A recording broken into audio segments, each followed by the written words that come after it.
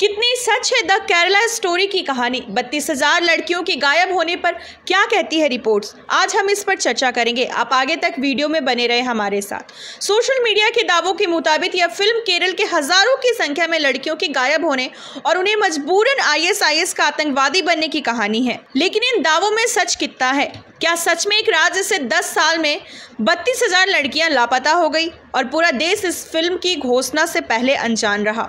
हर कोई इस सवाल का जवाब चाहता है कि यह मात्र एक फ़िल्म है या सच में ऐसा हुआ था?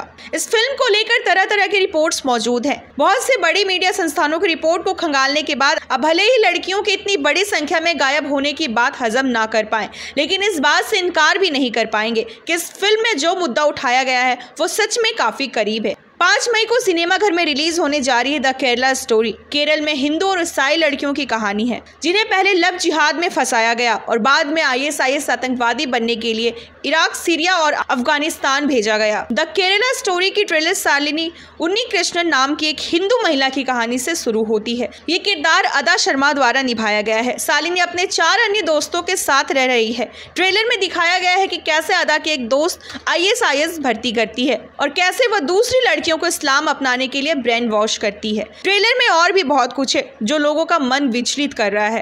खैर, हम इस फ़िल्म की असल कहानी पर बात करते हैं। 2021 में मीडिया के साथ साक्षात्कार में फ़िल्म के निर्देशक सुदीप्तो सेन ने कहा था कि केरल में बत्तीस हज़ार लड़कियों के गायब होने के ये आंकड़े उनके नहीं है। वह राज्य के पूर्व मुख्यमंत्री ओमन चांडी के साथ अपनी बातचीत के आधार पर केरल से हिंदू और ईसाई लड़कियों के बत्तीस हज़ार जबरन धर्मांतरण की संख्या तक पहुँचे।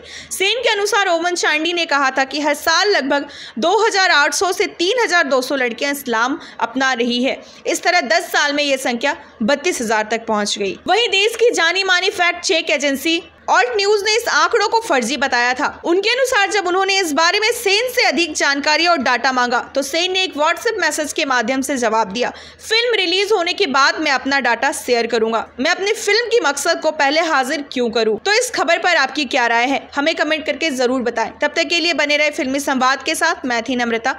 धन्यवाद।